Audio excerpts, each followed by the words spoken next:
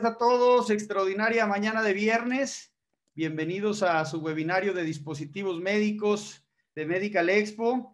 Les mando un abrazo a todos y el agradecimiento especial a todos los que se están conectando por seguirnos viernes con viernes en estos webinars que hacemos para la industria de dispositivos médicos, donde intentamos que la industria eh, genere mayor información a nuestros médicos especialistas, nuestros profesionales de la salud, acerca de tendencias en, tecnológicas, tendencias en procedimientos médicos, políticas económicas, temas de compras públicas y demás. Muy agradecido de nuevo en verlos a todos ustedes. Y bueno, el día de hoy tenemos un tema muy especial enfocado a, lo que es la electroporación irreversible para la ablación no térmica de tumores malignos localmente avanzados, una tecnología eh, americana este, y bueno, para platicarnos un poquito más de ello, invitamos al doctor Alejandro Rosano, quien es un médico especialista en, hepatología y usuario, usuario actual de la tecnología NanoLife, que es la tecnología que nos van a, presentar y los casos de éxito en hospitales como Hospitales Ángeles, Hospital Español, Hospital ABC. Muy buenos días, doctor Alejandro, ¿cómo está? ¿Nos escucha, doctor? Hola Carlos, buen día a todos. Gracias por la invitación y por hospedarme en este webinar tan interesante y saludando a todos los asistentes que espero que les interese mucho la plática. Al contrario, doctor, bienvenido. Muchas gracias. Gracias a su equipo de trabajo, a Grupo Crío, quien es nuestro patrocinador de, de este webinario. Y bueno, este, Dentro de nuestra audiencia tenemos en su mayoría profesionales de la salud, empresas de equipamiento médico, biomédicos, este, pues a lo largo de la República Mexicana principalmente y vemos algunos conectados del exterior también, eh, para que nos platique un poquito de sus experiencias usando esta tecnología que tengo entendido, doctor, que es una tecnología moderna, relativamente nueva. Son varias tecnologías que se suman, pero vamos a hablar un poco más específicamente de la técnica de ablación por electroporación y pues sí, es relativamente moderna y cada vez tiene más auge en su uso en diversas indicaciones. Yo les voy a hablar específicamente para aquellos pacientes que tienen tumores en el hígado y tumores en el páncreas. Extraordinario, perfecto, doctor. Bueno, pues eh, recordarle a nuestro auditorio que las preguntas las podemos hacer a través de nuestro chat. Poco a poco el doctor podrá ir contestando sus dudas, sus aportaciones. Y doctor, pues el auditorio es suyo. Muchas gracias, Carlos. Voy a compartir mi pantalla. Medical Expo, que tengo un par de años de conocerlos, muy comprometidos con el conocimiento, con la tecnología, con eh, juntarnos a los médicos, a los especialistas, a la gente que interviene en los hospitales y que está alrededor de nosotros, pero lo más importante alrededor del paciente, creo que esta conjunción de, de especialistas, de profesionales, de profesionistas en diversas áreas nos enriquece muchísimo. Les voy a hablar de este tema que a mí en lo particular me apasiona, es una de las áreas en las cuales he desarrollado mi, mi actuar médico, mi actuar quirúrgico desde hace 15 años, además de los trasplantes de hígado y de riñón. Y bueno, pues agradecer al Grupo Crío que pues indudablemente dentro de mi conflicto de intereses he sido asesor para ellos y he recibido patrocinios para eh, poderme capacitar en el extranjero, sobre todo en Estados Unidos. Y bueno, les presento aquí incluso cuatro de los pilares fundamentales de mi actuar médico, que son la integración, la integrabilidad, la afectividad y la eficacia en el diagnóstico y tratamiento de los pacientes para conjuntar a los especialistas les puedo hablar un poquito de eh, los tumores hepáticos, incluso ya eh, constituyen el cáncer hepático la segunda causa de muerte y el más común es el llamado hepatocarcinoma. Generalmente está precedida por la aparición de cirrosis, que es la induración del hígado por diversas razones, encontrándose en una de las primeras causas la infección por virus de hepatitis C, en los países asiáticos la infección por virus de hepatitis B. El consumo del alcohol crónico eh, sigue teniendo un papel, sobre todo cuando está asociada a esta enfermedad del hígado graso, la estatosis hepática, que cada vez tiene más lugar y se considera que hacia el año 2030 va a ser la primera causa de cirrosis y probablemente de hepatocarcinoma. Eh, el seguimiento por las imágenes de estos nódulos que pueden ser sospechosos es fundamental Y estos hepatocarcinomas, quiero hacer énfasis que debe de tratarse por equipos multiespecialidad, eh, con hepatólogos, radiólogos, radiólogos intervencionistas, cirujanos, hepatopancreatobiliares, que es una área específica que desarrollamos en la cirugía, los patólogos que nos ayudan a ver los tumores y a caracterizarlos bien, e indudablemente los oncólogos clínicos y quirúrgicos. En México, eh, permítanme hacer una, una breve pausa no, me deja ver esto bien. Em, la incidencia en mujeres es, em, eh, la pueden ver ustedes aquí, de 2.270 con una mortalidad de 2.196. Em, se está asociado a, múltiples eh, enfermedades como el consumo de tabaco, sobrepeso y obesidad, edad avanzada, el sexo y la raza y eh, esto es hablando específicamente del cáncer de páncreas localmente avanzado. Y el tipo histológico más común es el adenocarcinoma ductal invasivo y tenemos varias opciones de tratamiento que desafortunadamente una buena parte de estos tumores ya están localmente avanzados. Cuando los encontramos es frecuente que el paciente llegue amarillo, con ictericia, con pérdida de peso e incluso en ocasiones ya con intolerancia a la vía oral, para lo cual pues podemos tener eh, quimioterapia adyuvante, no adyuvante, en algunas ocasiones radioterapia, cirugía, que es el mejor tratamiento, pero desafortunadamente eh, una buena proporción de los pacientes que llegan ya no son tributarios a cirugía, pero existen algunas otras metodologías para abordarlos y es de lo cual voy a hacer un poquito énfasis en esta plática. ¿Qué procedimientos y opciones conocemos actualmente en, relación a cuando ya no eh, tenemos la posibilidad de eh, operar a los pacientes? Pues bueno, tenemos estas técnicas de ablación que consisten en eliminar el tumor con técnicas eh, que pueden ser térmicas o no térmicas. Yo les voy a hablar de una de las técnicas que es no térmica y que frecuentemente hablo de que estas tecnologías o estos abordajes son híbridos. ¿A qué me refiero? Con que eh, se combinan la cirugía y estas técnicas de ablación para hacerlo lo más eficaz posible. También hay eh, métodos no quirúrgicos como hacerlo por vía percutánea guiada por tomografía básicamente y la colocación de estas técnicas de ablación durante la cirugía es por ultrasonido, por ejemplo. Entonces tenemos desde los métodos de congelación, eh, la ablación con microondas, altas eh, eh, ondas electromagnéticas que crean una gran cantidad de calor, la ablación percutánea o quirúrgica mediante embolización con alcohol, que eso es algo ya prácticamente en desuso, pero así empezó todas estas ideas de, hacer ablación de los tumores. Uno de los principales problemas era tener el, alcohol estéril para poder eh, hacer ablación. También hay técnicas de embolización que se pueden usar de forma eh, híbrida o combinada. Estas técnicas de ablación, ya sea quirúrgicas o no quirúrgicas, el método invasivo, pero ese no va a ser el tema de la, de la charla.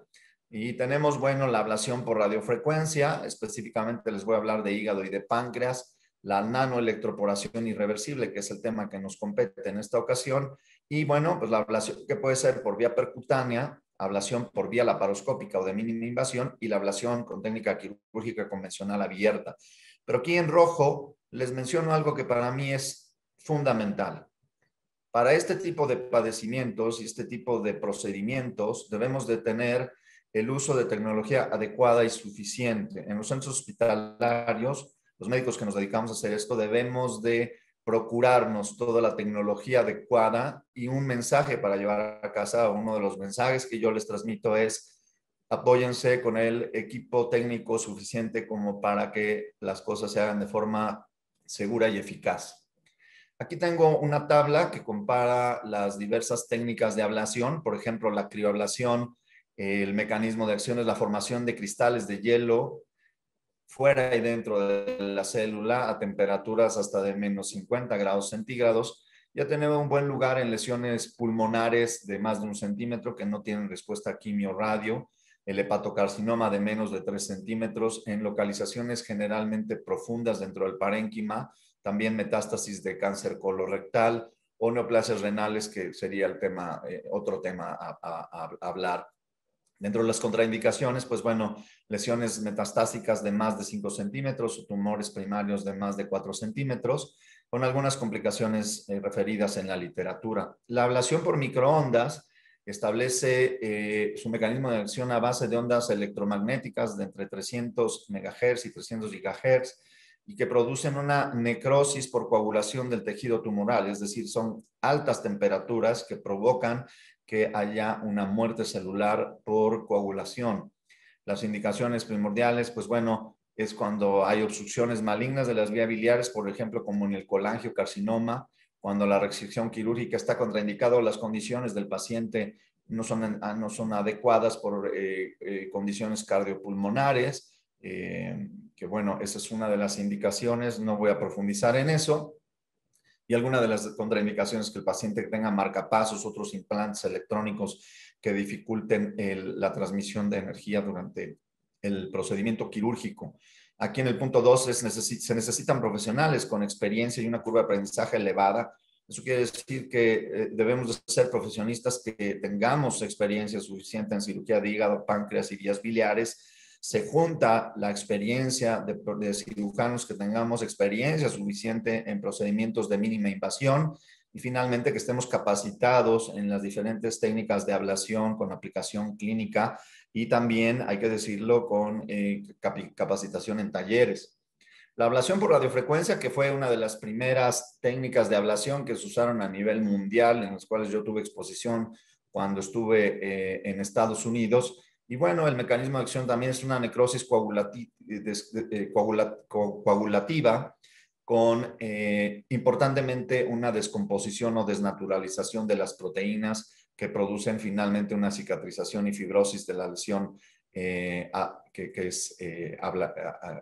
está siendo sometida a ablación.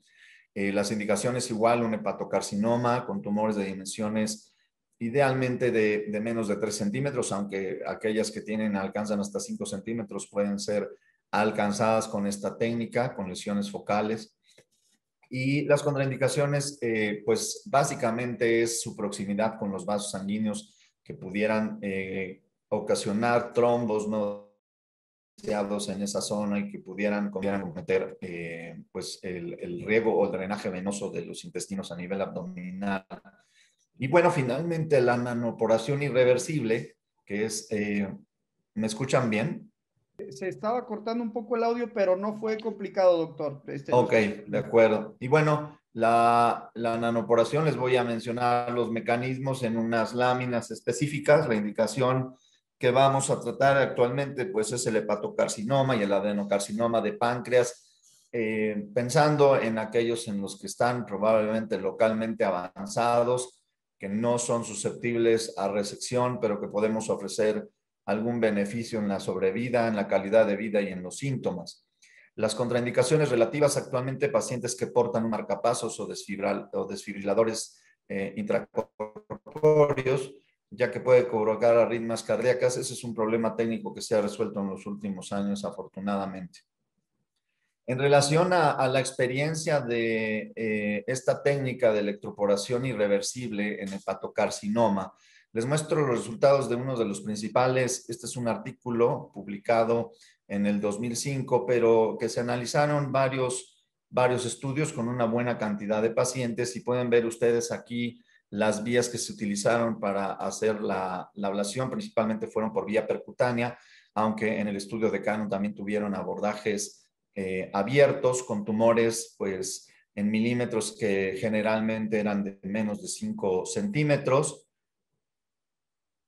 y que pudieron, eh, pues bueno, ver cuál era la progresión local del tumor. Ustedes pueden verlo aquí en porcentajes, el seguimiento en meses, con tasas de complicaciones muy variables que iban básicamente del 20 al 40%, eh, y en todas las series solo un paciente que falleció derivado de la aplicación de esta técnica y que podemos ver que la principal indicación era hepatocarcinoma, pero también había eh, eh, metástasis de cáncer colorectal. Espero que estén viendo mi cursor y pueden ver aquí las diferentes indicaciones de cáncer colorectal, hepatocarcinoma, en la serie de Furling, en la de Canon, con, estos, eh, con estas sobrevidas o progresiones del tumor en meses y que eran sometidos a esta eh, ablación por electroporación. Muy importante es eh, definir que las técnicas estándar para ablación de este tipo de tumores estaban dadas primordialmente por la radiofrecuencia y por la aplicación de microondas. Pero una de las eh, limitantes eh, primordiales en este tipo de técnicas de ablación es la cercanía con los vasos sanguíneos en donde se hace una contraindicación prácticamente formal. En el caso específico del hígado, la cercanía con los vasos hepáticos, con los vasos portales y la arteria hepática, pero también los conductos biliares que sufrían quemadura irreversible y que daban complicaciones posteriores a la ablación. Y en el caso del páncreas, pues la eh, estrechez del conducto pancreático, si es que era el caso, o bien el compromiso con em, de los vasos mesentéricos.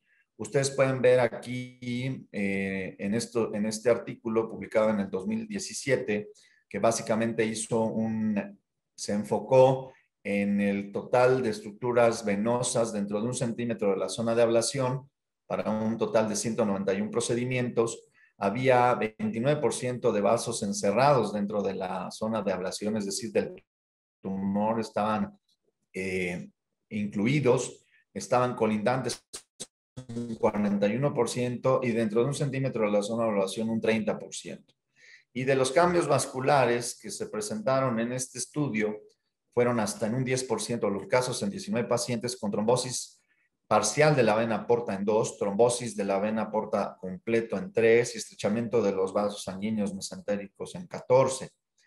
Sin embargo, en el seguimiento de los pacientes se logró ver que había una resolución de la trombosis y de la estrechez completa en 8 casos y parcial en uno de los casos. Otra de las cosas que preocupa mucho cuando va a hacer uno la ablación en el hígado específicamente, pues es la lesión en los conductos biliares y la técnica de electroporación irreversible da algunas ventajas que les voy a mostrar en siguientes láminas, pero vean ustedes cómo eh, la tasa de complicaciones biliares no es tan alta en este, en este artículo de 2017, en donde el tumor encapsulaba la vía biliar en 33%, estaba contigua la vía biliar en 14% y en 8 dentro de la zona de un centímetro de la zona de ablación. Finalmente, se pudo ver que los conductos biliares permanecían sin cambios hasta en un 73%, o sea, tres cuartas partes de los pacientes no tenían problema en los conductos biliares. Un 13% experimentaron dilatación que pudo no tener complicación, principalmente con abscesos, y un 14% con estrechamiento de los conductos biliares. Esto, estos, estos artículos se han hecho para establecer la seguridad y la eficacia de la electroporación irreversible en este tipo de indicaciones. Cuando hablamos del cáncer de páncreas, el papel de la electroporación en estos dos artículos eh, relativamente recientes, ustedes pueden ver estas eh, cinco series a partir desde el del 2015 en donde ustedes pueden ver que la indicación del adenocarcinoma de páncreas, eh, esta es la cantidad de pacientes, el grupo más grande es el de Martin de 150 pacientes, con localizaciones del tumor principalmente en la cabeza, en el cuerpo y en el cuello, con estos tamaños tumorales generalmente de menos de 5 centímetros, y el número de sondas de electroporación o de agujas que se utilizaron para para hacerle la electroporación de 3 a 6, pero con un promedio de 4. Con una duración en minutos, ustedes pueden ver aquí los rangos para eh, establecer el tiempo en minutos que se dio, eh, vamos a decir, el procedimiento. En cuanto a los abordajes, como les mencionaba, en estos dos artículos podemos ver que eh, la técnica abierta en estas dos publicaciones de Kluger y de Martin se utilizó en en, esta cantidad de pacientes con una morbilidad de 7 de 29, 54 de 150, con una supervivencia global en meses en un estudio de 7.71 y en otro de 18, con estas mortalidades reportadas, indudablemente derivadas de la propia patología, pero también en el sentido estricto si aumentaba o no derivado del procedimiento. Em, este estudio con, la paroscopía, con 66 pacientes, con una supervivencia global de 14 meses, que pues bueno, esto se ve aparentemente corto, pero el promedio de sobrevida en pacientes con tumores de cáncer de páncreas localmente avanzado es de menos de seis meses. Este otro estudio que utilizó eh, electroporación a nivel percutáneo en el 2018 por LIN, con una morbilidad de 19 sobre 75 pacientes, con una supervivencia de 27 meses y una supervivencia libre de progresión de 15 meses. En este periodo de estudio, cero pacientes con mortalidad y este abordaje de Lambert combinado abierto y percutáneo con una supervivencia de 10 meses y no reportada la progresión libre de enfermedad. ¿Cuáles son los mecanismos de acción de la electroporación? Pues bueno, esta es la membrana celular bicapa lipídica, lípidos adentro y afuera de la membrana celular. Esta es una membrana íntegra. Esta es la colocación de las antenas. Les voy a enseñar la configuración, cómo se crea una corriente alta eh, entre las antenas, lo cual hace que se afecte el potencial transmembrana y eh, electroquímico, por ende, Doctor, tenemos problemas. Forman estos poros irreversibles que la que finan. ¿Sí? Se nos trabó un poquito de la comunicación. Estaba hablando de, la, eh, de las antenas este, y se trabó la comunicación. De acuerdo. Hay que ver que, que está inestable. Sí, entonces les comentaba que se, se colocan las antenas y eso, eh, esta corriente de alta energía o de alto voltaje, hace que haya una afectación del potencial electroquímico transmembrana y por lo tanto da lugar a la formación de poros irreversibles en donde los iones pasan de la eh, porción o de la parte extracelular a la intracelular y hace esta cantidad de poros en la membrana que facilita la apoptosis finalmente de eh, la célula electroporada. Eh, este mecanismo de acción es muy interesante porque respeta las estructuras acelulares como los conductos biliares y eh, los vasos sanguíneos eh, hace que no se afecten eh, disminuyendo la, la, posibilidad de trombosis. En relación a esto les puedo decir, como comentábamos antes de iniciar el webinar, que estas técnicas tienen que ser usadas en centros especializados uno de los mensajes de llevar a casa es que los pacientes cada vez buscan de forma directa eh, acudir a centros con experiencia, en hospitales certificados, con cirujanos que tenemos entrenamiento suficiente en las áreas que ya les mencioné, pero no solo esto, sino también la posibilidad de acudir a capacitaciones periódicas en los lugares en donde incluso se han creado cursos específicos, como este curso que eh, tuve la oportunidad de asistir en la Universidad de Louisville en Estados Unidos, para ser capacitado específicamente en el uso de NanoKnife y sus diferentes indicaciones y no solo el entrenamiento en cirugía pato-pancreato biliar. Aquí les muestro esta lámina en donde está el equipo de NanoKnife, que es el único patentado a nivel mundial para esta indicación. Eh, tenemos una consola que nos permite establecer con estos controles la cantidad de energía que se va a transmitir específicamente para el tejido y la indicación. Este, como pueden ver, es un, es un carro móvil que se puede trasladar de un eh, quirófano a otro. Estas son las antenas que tienen eh, un, grosor que les voy a mostrar posteriormente y estos separadores para establecer una distancia sana que debe ser eh, no más allá de dos centímetros para establecer este campo de, alto, de alta corriente energética para poder tener este tejido cubierto y que pueda ser eh, como yo le digo comúnmente a los pacientes, electrocutado.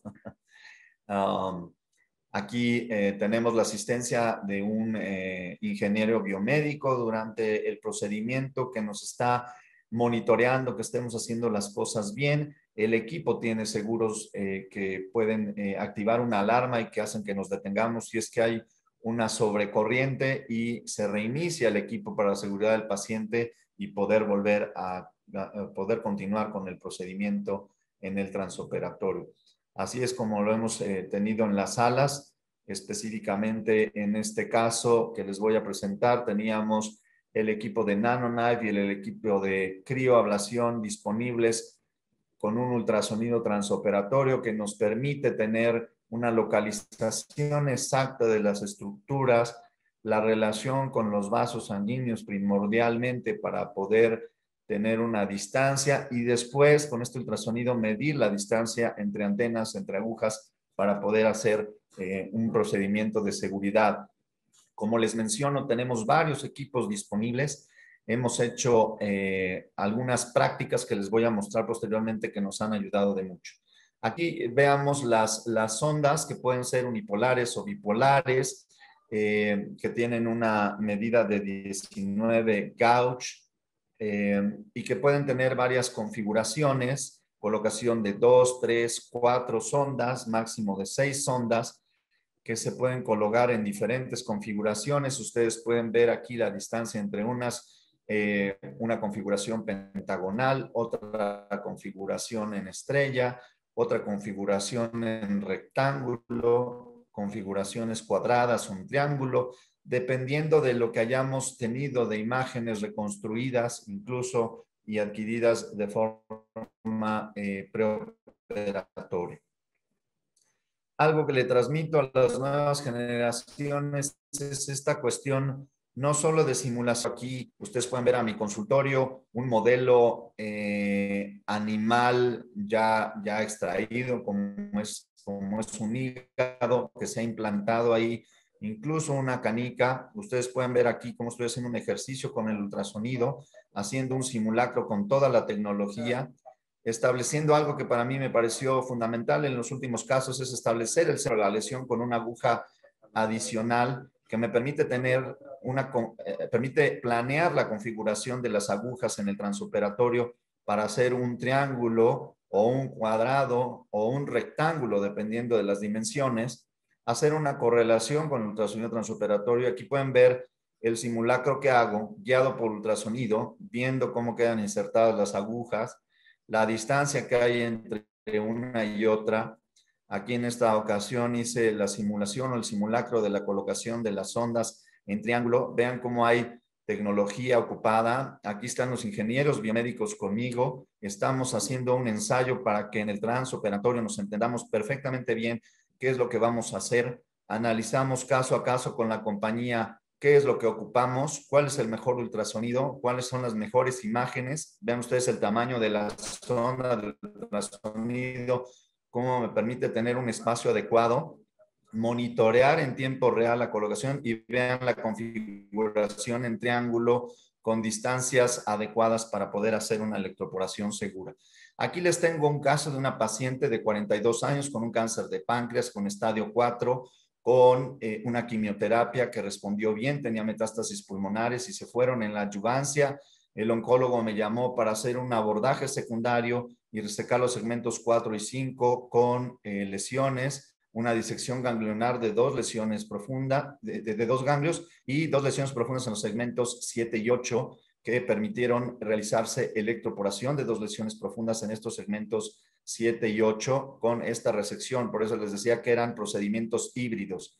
Se hicieron resecciones hepáticas, que es el mejor tratamiento, pero en lugar de hacer una hepatectomía derecha extendida para lesiones mucho menores, decidimos mejor electroporar las dos lesiones profundas y tuvimos una imagen de control y sobre todo una función hepática estable en el posoperatorio, incluso a pesar de esteatosis inducida por quimioterapia. Entonces, en los tumores hepáticos y pancreáticos que establezco una planeación quirúrgica que permite medir el riesgo quirúrgico, definir muy bien la anatomía vascular y biliar. Actualmente les hago a los pacientes un Dynas CT en, en, un centro especializado que me hacen reconstrucciones que les voy a mencionar en las láminas posteriores. Vean ustedes cómo podemos tener imágenes, una relación del tumor, poder hacerle volumetría al hígado dañado, una volumetría al hígado sano, hacer una planeación de resección con base en la relación a los vasos sanguíneos hepáticos y portales y arteriales, y también ver la anatomía arterial y la relación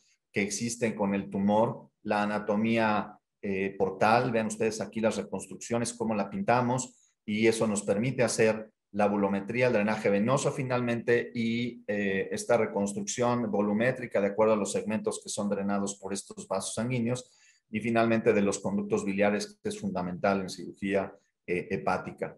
Estas son las resecciones hepáticas mayores ya descritas en, en England Journal of Medicine y se los muestro porque estas lesiones pueden ser resecadas parcialmente y embolizado el hígado para que crezca el hígado sano, que está menos afectado por lesiones.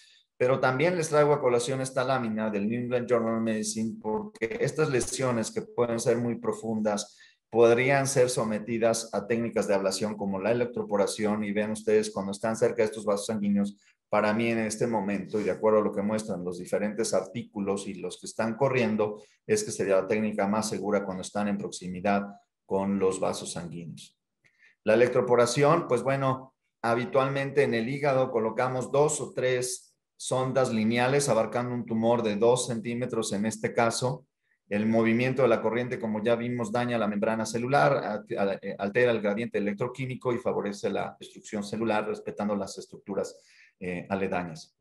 Aquí tenemos esta navegación intraoperatoria de este tumor. Vean cómo estamos haciendo la medición en tiempo real de los ejes mayores, viendo la profundidad del tumor en relación al parénquima y la relación con los vasos eh, en los vasos mayores. Es indudable que de todas maneras esto lo tenemos que establecer en el intraoperatorio y la tendencia actual en tecnología, que eso es algo que los voy a mostrar y que he estado trabajando, justo ahorita estoy planeando una resección hepática mayor para el día lunes, es esta navegación intraoperatoria con estos sistemas de eh, verde de indiocianina para poder ver la bioluminiscencia y además del ultrasonido poder establecer los panos de recepción de manera segura.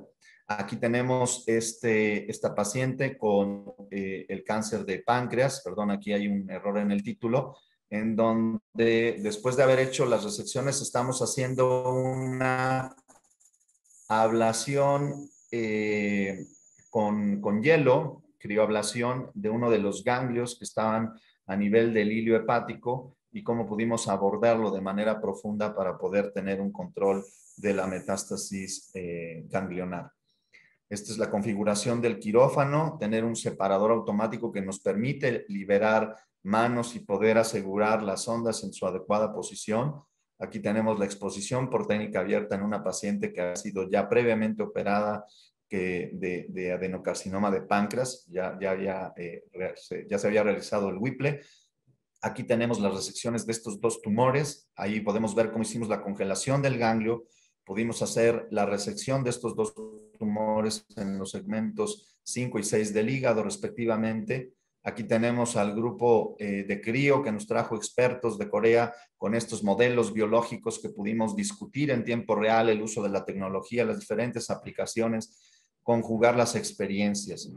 Este es un hombre de 52 años que recientemente atendí, que vino de Hermosillo, nuevamente con un cáncer de páncreas, que recibe eh, terapia neoadyuvante y que se programa para un Whipple, pero desafortunadamente la relación con los vasos de sanguíneos nos permite, no, no nos permite hacer la resección y entonces decidimos hacer nanoporación pancreática. Indudablemente ya habíamos ensayado el caso específico es una lesión de menos de 5 centímetros y el paciente después de la nanoporación tiene un seguimiento posterior. Justamente ayer le hicimos una tomografía de control, el tumor disminuyó 14 milímetros. Aquí pueden ver las reconstrucciones que me hicieron los centros radiológicos de más especialidad eh, en el país. Aquí vean cómo está la vena porta eh, tomada y cuál es la relación con los vasos mesentéricos que básicamente estaban libres, más bien los tomaba a nivel superior. Sí, aquí podemos ver cómo el tumor está tomando la vena porta. Vean ustedes, los vasos mesentéricos están libres. Aquí la siguiente imagen, ver eh, la, el componente sólido de la lesión, como es un tumor de menos de 5 centímetros de diámetro y luego el involucro del tronco celíaco, que a la hora de hacer la exploración, pues eh, estaba adherido al tumor, pero estaba libre, podía hacerse la resección. Sin embargo, lo que nos detuvo fue eh, la proximidad con el, tronco mesoportal incluso con un, con un desgarro transoperatorio derivado de eh, colocación, más bien la adherencia del tumor al propio vaso sanguíneo, se tuvo que hacer una reparación quirúrgica. Vean ustedes la reconstrucción 3D del tumor, algunos ganglios que resultaron ser hiperplásicos y eh, vean ustedes aquí eh, esta reconstrucción 3D de los vasos sanguíneos con el tronco celíaco. Esta es otra proyección antero-posterior y vean ustedes cómo se planea la colocación de las sondas de nanoknife o de electroporación irreversible. En este caso, tres antenas para poder eh, tener encasillado al tumor. Vean ustedes cómo las ondas van recibiendo la energía de la 1 a la 2, de la 2 a la 3 y de la 3 a la 1 de manera secuencial Habitualmente se dan 90 pulsos entre cada una de las ondas y aquí tenemos el comparativo con la radiofrecuencia, que es una sola, que se extiende en varias antenas y se va haciendo esta ablación térmica. La navegación intraoperatoria, como ya les mencioné, es fundamental tener el ultrasonido. Tenemos aquí inclusive el lector de verde de indiocenina que nos permite ir viendo cuál es el tejido viable y demarcando el tejido tumoral. Vean toda la tecnología que se usó en el transoperatorio, dos o tres o cuatro compañías que están colaborando. Y aquí les muestro la electroporación. Eh, este, este video, creo que déjenme ver si corre. Ah, ahí lo estamos viendo. Aquí no tiene sonido, pero se oyen unos chasquidos cada vez que se empieza a transmitir la, la energía Ustedes pueden ver aquí la configuración de tres ondas que les había mostrado previamente en el simulacro y pueden ver ustedes aquí esto, eh, pues bueno, nos tomó 90, eh, 90 transmisiones de energía de alta corriente de la sonda 1 a la 2, otras 90 de la 2 a la 3 y otras 90 de la 3 a la 1 con monitoreo, sincronización electrocardiográfica para evitar arritmias transoperatorias sobre todo cuando están en la proximidad del plexo celíaco, y eso ha disminuido la eh, cantidad de complicaciones cardiovasculares. Pueden ver ustedes aquí la sonda de ultrasonido que nos permitió colocar en tiempo real cada una de las ondas en proximidad con, más bien, enclaustrando al tumor entre las ondas y pueden ver la seguridad del procedimiento con el seguimiento del paciente a un mes. El paciente está libre de síntomas, sin dolor, que es uno de los problemas que tenía, Habíamos colocado una prótesis endobiliar en el paciente para proteger la vía biliar, que afortunadamente lo recibimos sin ictericia. Y bueno, esto es una de las experiencias que hemos tenido con, eh, el, eh, con nanoporación en tres pacientes con tumores pancreáticos metastásicos a hígado y en uno de ellos en un tumor eh, de, primario de hígado también. No, no, se muestran las imágenes del hepatocarcinoma. Digo, de hígado, la ablación del hígado. Fueron Sí, entonces, eh, tres mensajes para llevar, que inclusive lo platicábamos antes de, del webinar, es eh, cada vez hay más pacientes en el país estos eh, tumores, tanto en el páncreas como en el hígado, o metástasis de cáncer rectal en hígado. En las últimas cinco semanas he recibido pacientes de fuera de la Ciudad de México con tumores locales y también localmente avanzados que requieren de estos abordajes de multiespecialidad. Ese es el segundo mensaje, que estos eh, tipos de patología debe tratarse en centros especializados con cirujanos y equipos multiespecialidad con suficiente experiencia, y no solo experiencia, sino también capacitación. Cirujanos que, cirujanos que hacemos cirugía de hígado, de páncreas, de vías biliares, con técnicas abiertas, con cirugías laparoscópicas o de mínima invasión, y que además estamos capacitados en esta tecnología que es altamente eficaz y que el último mensaje para llevar a casa es esta colaboración con las empresas, con los proveedores de servicios y de equipamiento que nos permite capacitarnos, entrenarnos y estar en tiempo real entrenando y simulando y haciendo simulacros caso por caso que nos acompañan en el transoperatorio, ingenieros biomédicos, técnicos en los especialistas, los equipos y que incrementa la eficacia de los procedimientos, la seguridad para el paciente y la comodidad con la que hacemos los procedimientos durante la cirugía, que son cirugías eh, pues de larga rodada, como les digo. Así es que espero haber transmitido unos mensajes eh, contundentes para poderse llevar a casa y poder seguir meditando, interactuando con los médicos que reciben a los pacientes en las diferentes especialidades. Así es que es muchas gracias. Al contrario, doctor, muy, muy agradecidos nosotros por su participación, extraordinaria presentación. Eh, vamos a dar por aquí un espacio para, para que nuestro auditorio pueda poner algunas preguntas. Eh, yo en lo particular, doctor, quisiera preguntarle si, ¿qué, pasa con otro tipo de, tumores focalizados como el cáncer de próstata? Esta, ¿Este tipo de tecnologías nos funciona para atender algún otro tipo de tumores focalizados? Sí, indudablemente que hay otras indicaciones. Eh, el área urológica específicamente para próstata, pues eh, en aquellos pacientes que no son tributarios a, cirugía, pues pueden ser sometidos a estas técnicas de ablación. En, riñón específicamente se tiene mucha experiencia, sobre todo con crioablación.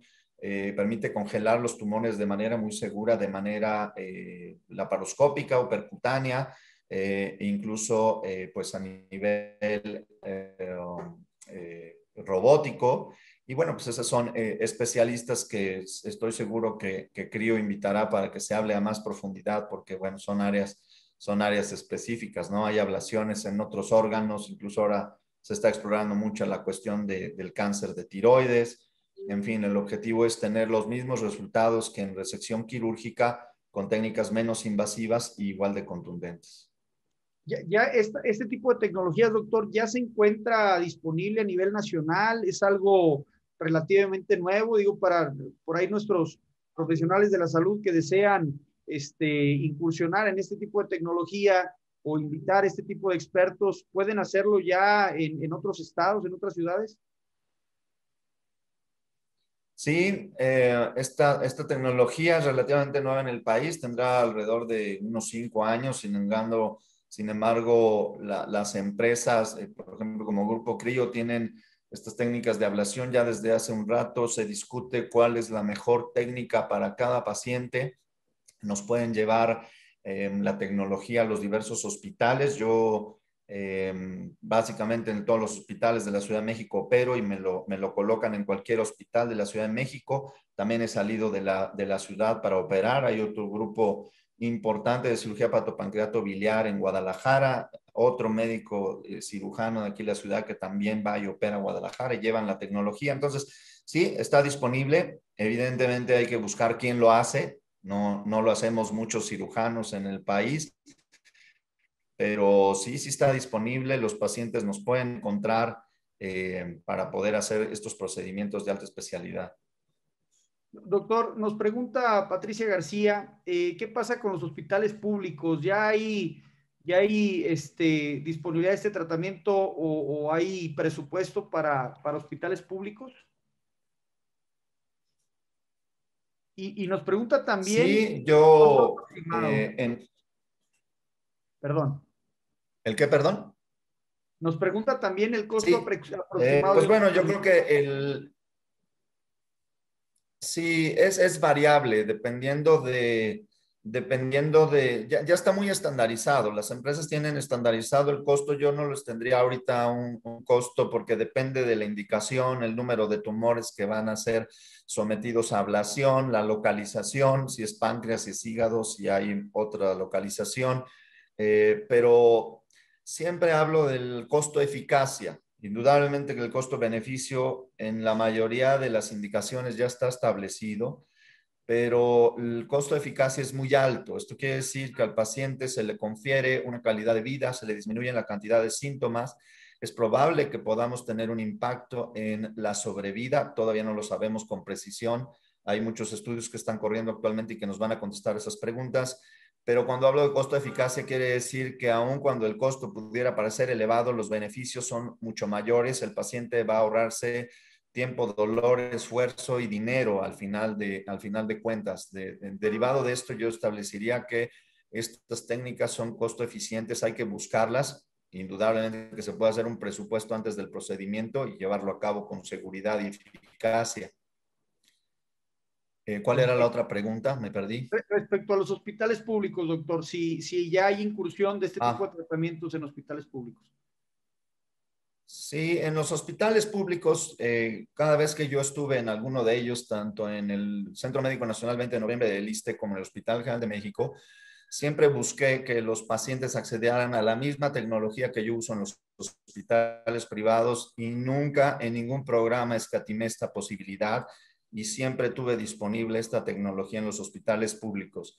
Es una cuestión de gestión intensa del médico que conozca bien qué es lo que está solicitando, para qué lo está solicitando, cuánto cuesta hacer un presupuesto, tener tres opciones de presupuesto. Cuando el equipo es de un solo proveedor y hay una distribución exclusiva, eso facilita mucho las cosas porque generalmente los proveedores con los que yo he trabajado son muy conscientes, tienen una ética bien establecida y su vocación es ayudar al paciente, igual en privado que en público. Si uno solicita este equipamiento con este personal entrenado, con este compromiso de la empresa, el servicio es exactamente de la misma calidad, con la misma precisión y la misma colaboración con el cirujano. Eh, uno de los primeros procedimientos que hicieron con microondas en el, más bien no uno, sino el primer procedimiento que se hizo con microondas para ablación de tumores hepáticos en el Hospital General de México fue realizado por un servidor en, colaboración con el servicio de coloproctología del hospital e indudablemente con nosotros como cirugía de hepatopancreato biliar y de trasplantes. El paciente tuvo un resultado extraordinario y su sobrevida fue bastante buena. Excelente, doctor. Gracias. Nos pregunta Juan Carlos Medrano, eh, al referirse a todo un equipo multidisciplinario, eh, cuando se reúnen, ¿en qué momento eh, se reúnen? Si es el momento quirúrgico y cuántos elementos este, disciplinarios se requieren. Depende, pero yo les diría siempre no hay que escatimar. En, la, en el último procedimiento que les mostré, el paciente con eh, cáncer localmente avanzado de páncreas, estábamos nosotros como equipo quirúrgico y había seis compañías alrededor con sus técnicos respectivos que fueron entrando por relevos, yo le menciono por relevos al, al quirófano desde equipos especializados en el manejo de la vía aérea. Una de mis filosofías actuales es ningún procedimiento se debe de realizar a ciegas, idealmente todos bajo visualización y eso requiere tecnología, tecnología avanzada que hay que calificar. Actualmente mi equipo médico anestésico y quirúrgico estamos calificando tecnología en tiempo real para cada caso y manejo avanzado de la vía aérea, eh, retractores abdominales automáticos, lámparas intraoperatorias, lupas quirúrgicas, ultrasonido intraoperatorio, verde de indocianina con bioluminiscencia, eh, todas las técnicas de ablación. Entonces, lo que amerite por cada caso, no tengan miedo de acercarse a las compañías, de preguntar a los ingenieros biomédicos, de tocar el equipo, de verlo, de no echarlo a perder, diría, pero obviamente hay que estar bien capacitados para que las cosas funcionen bien y, rindan lo que tienen que rendir. Y para eso están los especialistas. Hay que preguntarles, que nos pregunten. Todos somos fundamentales, todos somos importantes. Claro, debe haber un líder que establece cuál es el ritmo y cómo van entrando los especialistas, pero lo que sea necesario. En el último, en la última cirugía habíamos 12 personas aledañas al procedimiento quirúrgico para resolver las necesidades. Gracias, doctor. En, tema de capacitación, doctor, eh, nos recomienda que los profesionales se acerquen a, CRIO y, ellos pueden informarnos al respecto o nos podría sugerir alguna otra asociación o algún otro mecanismo para, temas de capacitación y entrenamiento. Yo creo que hay varios, hay, hay, cuatro mecanismos fundamentales, por supuesto, que se pueden acercar a mí sin ningún problema y, yo eh, ser parte fundamental de la capacitación. Grupo CRIO es alguien que tiene programas de capacitación continua, ya no, ya no digo educación médica continua porque ya está medio caduco ese concepto, más bien es capacitación y entrenamiento periódico, constante. Eh, se pueden acercar a las asociaciones médicas, indudablemente, Asociación eh, Mexicana de Pato Pancreato Biliar, la Asociación de Cirugía General, que me han invitado también, indudablemente, a participar en webinars, seminarios y conferencias y congresos. Y pues bueno, también ya actualmente están muchas cosas en línea. Yo estaré por lanzar un, canal de entrenamiento y capacitación pronto. Ya hay, ya hay varios métodos e indudablemente pues leer, leer, leer. Leer, leer. Doctor, bueno, pues eh, aquí el equipo de Medical Expo está poniendo información al respecto para que puedan acceder a ella y, bueno, si, si usted tiene alguna aportación, este, también se lo agradeceríamos. Eh, muchos agradecimientos, eh, mucho, muchas felicitaciones. Este, objetivos cubiertos, dice Juan Carlos Medrano, extraordinario, para eso es este tipo de canales. Nos pregunta Marta Sánchez si puede eh, platicarnos si funciona para tiroides, glándulas mamarias, este, etcétera. Me imagino fue misma pregunta que hace rato, ¿verdad? La aspiración ultrasónica no es opción. Sí, bueno, yo en, tiroides, perdón. No, no, adelante, doctor. Sí, específicamente yo para mama y, tiroides no tengo experiencia, sí se está ocupando, pero bueno, yo, yo creo que si se acercan a crío los pueden canalizar eh, a los conductos específicos y, apropiados. Perfecto, doctor. Nos pregunta eh, la doctora Lorena, ¿la aspiración ultrasónica no es opción? ¿En qué momento podría utilizarse la aspiración ultrasónica en este tipo de tumores? Sí, eh, la aspiración ultrasónica la uso de manera, eh, o sea, siempre es uso rutinario en los eh, tumores hepáticos, en los tumores pancreáticos no, no aplica, pero en los tumores hepáticos siempre uso aspiración ultrasónica con muy buenos resultados. Con, se respetan las estructuras biliares y vasculares y me permite hacer una disección muy nítida y preservar el parénquima hepático disminuyendo la zona de perenumbra eh, post-resección. Indudablemente es un estándar de cuidado quirúrgico, claro. Eh, gracias, doctor. Eh, nos pregunta Patricia García si tiene experiencia en pacientes pediátricos. No, yo no tengo experiencia en pacientes pediátricos, pero básicamente la indicación sería la misma y no habría ninguna otra contraindicación adicional a los pacientes adultos. Perfecto. Y nos piden si podemos contactarlo a través de algún correo electrónico, doctor.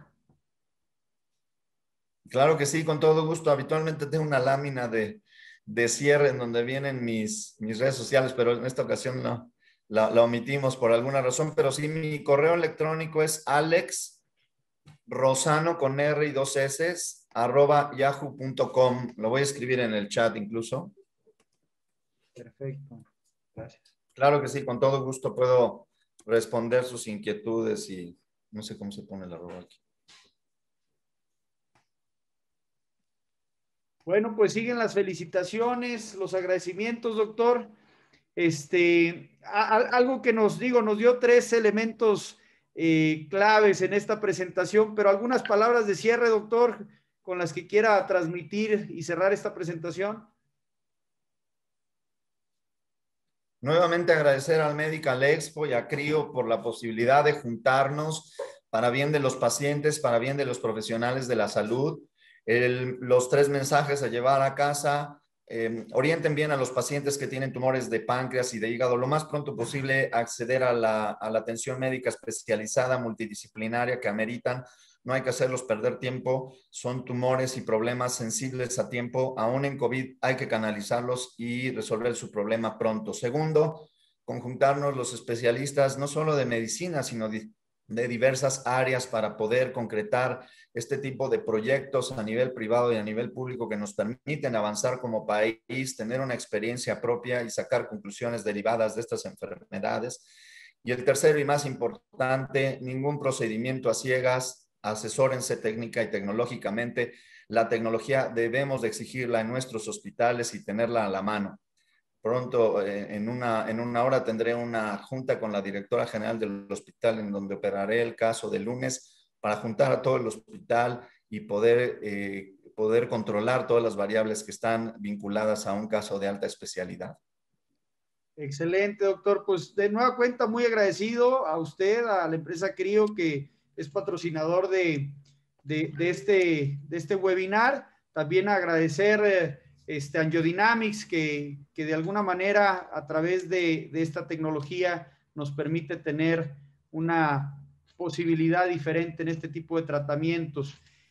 Eh, bueno, recordarles a todos que de ser posible, este, retransmite, estamos muy contentos porque hubo en la retransmisión eh, una visualización de más de 300 personas en streaming y más de 79 veces compartido. Ojalá llegue esta información a más y más profesionales de la salud Este, y bueno, agradecerles a todos esta participación que, están teniendo con Medical Expo para difundir este tipo de, conocimientos. Eh, doctor, de nueva cuenta, muchas gracias. Este, esperamos verlo pronto en Medical Expo. Allá nos vemos, claro que sí, Carlos. Gracias por la invitación. Un último mensaje, bien, una de las preguntas. Capacitación para enfermería es fundamental. Las enfermeras tienen que estar con nosotros y son parte fundamental del equipo multiespecialidad. Son bienvenidas y, por supuesto, si están capacitadas, mucho mejor y cuenten con mi apoyo para poder capacitarse. Muchísimas gracias, doctor. Espero que, que, así sea y, sigamos todos trabajando en conjunto porque la industria médica eh, mejore constantemente. Recordarles a todos que pueden descargar sus cortesías de ingreso para Medical Expo, un evento que tenemos de manera presencial en el World Center, 11, 12 y 13 de octubre. Vamos a tener más de 130 conferencias médicas como la que impartió el día de hoy el doctor Alejandro. Este, ya tenemos por ahí el programa, eh, lo pueden descargar en eh, www.medical-expo.com.mx y bueno, las cortesías ya mi equipo está poniendo aquí el link para que se registren, inviten a sus colegas y puedan acceder pues a estas tecnologías que van a presentar más de, más de 200, 200 eh, proveedores actualmente en, Medical Expo. Vamos a tener más de 500 marcas presentando innovación, tecnología, este, lo que viene este, en, en tema de desarrollos de procedimientos y técnicas médicas. Y bueno, de nueva cuenta, este, agradecer a todos que nos sigan viernes con viernes en estos webinarios que se hacen a las 10 y a las 11 y media de la mañana. Tratamos de hacer una comunidad que esté en constante capacitación eh, en, temas de dispositivos médicos, en tema de equipamiento, tecnología, en tema también de, de compras públicas, adquisiciones, lo que está pasando en hospitales privados, que por cierto, Hoy se, se, llevó a cabo la conferencia de la UNOPS, ya también podrán verla ahí en YouTube a través de sus canales de, de, comunicación de la UNOPS. Y este, bueno, eh, agradecerles de nuevo a todos, desearles un feliz fin de semana, doctor, a ti, a tu equipo de trabajo. En verdad, muchas gracias y esperamos vernos pronto de nuevo. Claro que sí, un abrazo a todos. Un abrazo a todos, que pasen un lindo fin de semana y nos vemos pronto. Nos vemos en Medical Expo también.